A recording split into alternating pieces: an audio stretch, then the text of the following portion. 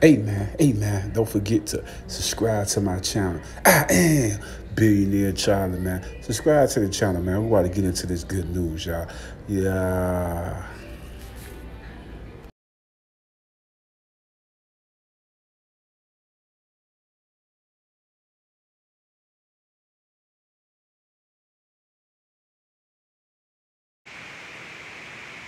What's good? What's good, man? Y'all tuning into your boy Billionaire Charlie, man. And where we at, man? Locker room talk, man. Getting this paper, man. we gonna talk about it, man. We back on it, man. Justice for Nip, man. And we gonna talk. we gonna break all this stuff down, man. Wack 100. I mean, speaking his piece, you know what I'm saying? A lot of people against that. Also, the game, man. A lot of people giving the game a lot of flack and stuff of that nature, man. And we just found out that Cowboy got a bill of $1.2 million, dollars, man. J. Stone just dropped his album, you know what I mean, Loyalty. So we're to talk about it, man. I seen the Wack 100, you know what I'm saying, uh, interviews. I seen both, uh, both of them, all three of them. Even the one they said they tried to edit up because it had a lot of aggressive stuff in it.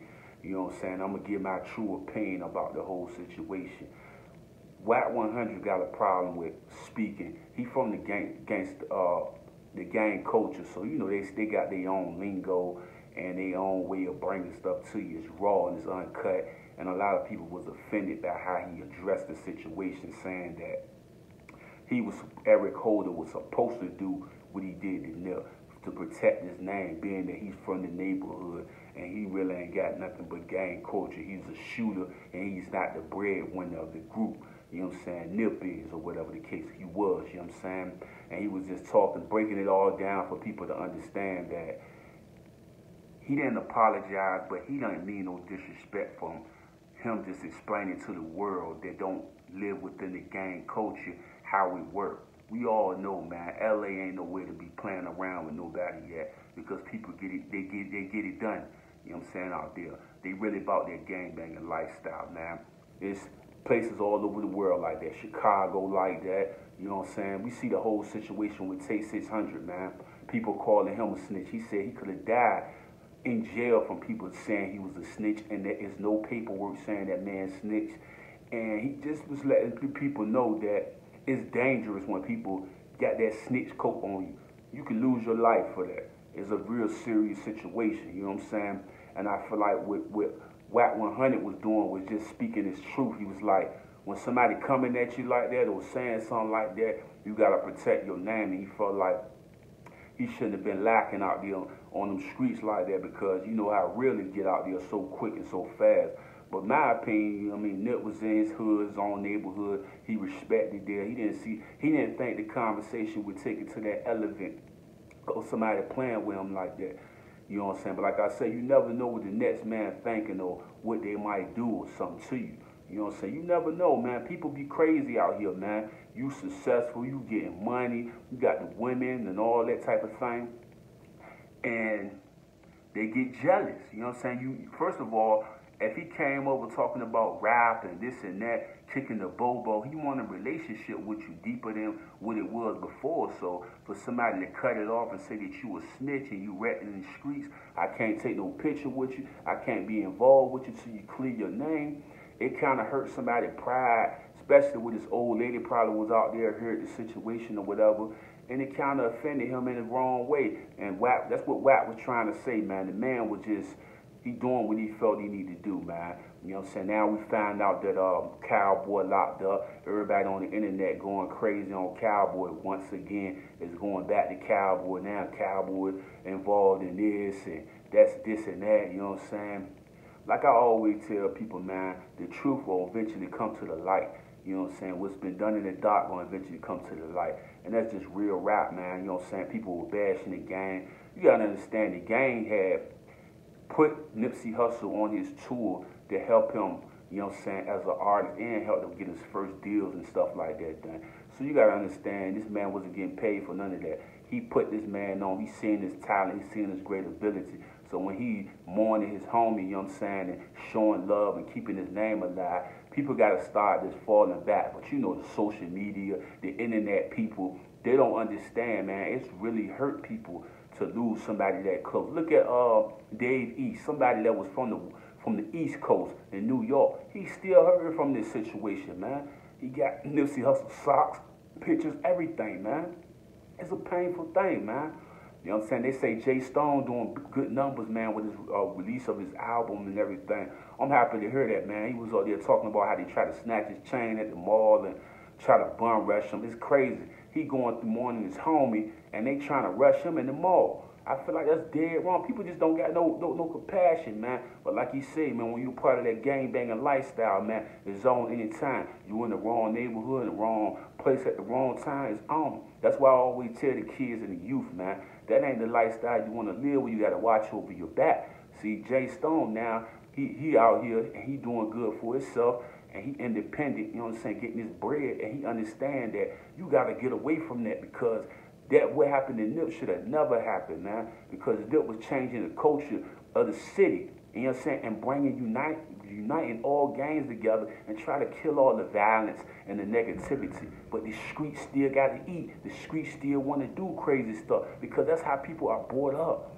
We got to do better as people, man. We got to love each other. We got to respect each other. And we got to understand that it's deeper, man. But you know how people is these days, y'all.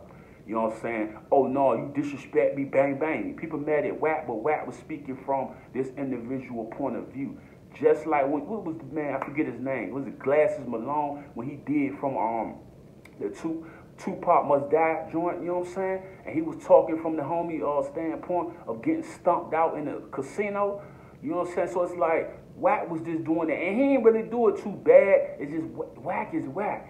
You know what I'm saying? I always this is what I always tell people in life now you got to understand that certain people talk certain ways.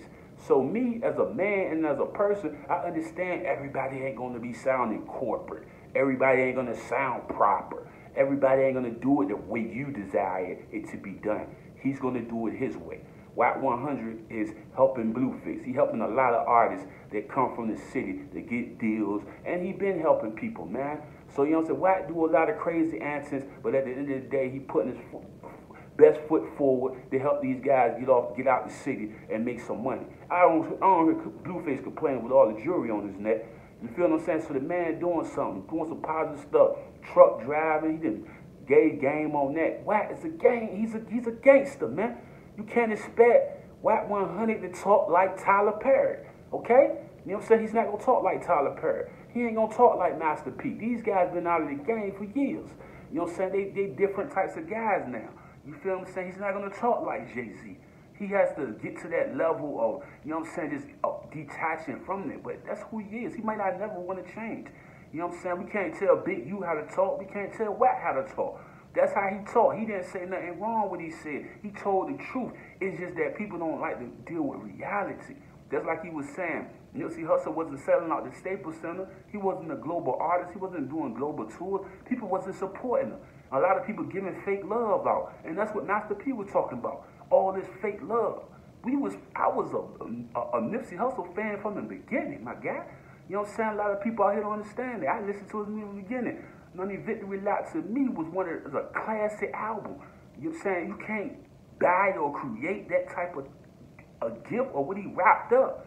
You know what I'm saying? Before he left, man. That was brilliant, man. I didn't hear the J. Stone and Nip joint yet, but I'm definitely going to hear that, man. You know, so I might have to go ahead and download that album, man. Just to show support, man. You feel? A lot of people giving him back for that song or something. He living off Nipsey Hussle. Hold up. How is he living off Nipsey Hussle, man? That's his man's. You know what I'm saying? J. Stone is his man. That's his brother. The like people got to stop this this internet thing, man. That's his brother, dog. That's somebody he with. Now come on, man. Y'all got to stop this, man. J. Stone ain't the fake one. There's a lot of these uh rappers out here that ain't never rock no Crenshaw shirt or never supported Victory Lap or none of that. They didn't support Nip. They did it when he passed. That's fake. You know, that's what Master P was saying to T.I. on his show. But T.I. wasn't getting it. I was like, T.I., y'all talking for two, two different concepts. Master P was talking about people that knew Nip and listened to his music and was didn't like him.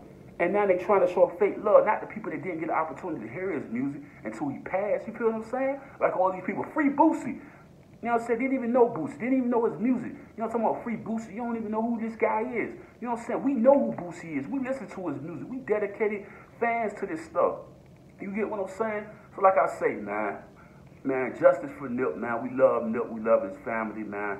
And I got nothing but respect for him, man. But like I say, that gang banging lifestyle is what we need to destroy. If it ain't gonna bring positivity into our community, what is he doing? You feel me? That's all I'm saying. Y'all can't keep bashing on them. If he was coming off like on some two, like he was doing Tupac, then I would be mad. But he ain't do that. He just spoke some real stuff, man. And I respect him for that, man. Because I know everybody don't talk the same. You know what I'm from Norfolk, Virginia, Tyler Park. I'm not gonna talk like no uh, uh, Wack 100. You know what I'm saying? I got a different lingo. You did? I'm out, man. Billionaire Charlie. Hit that subscribe button and love your boy. You did? I'm out.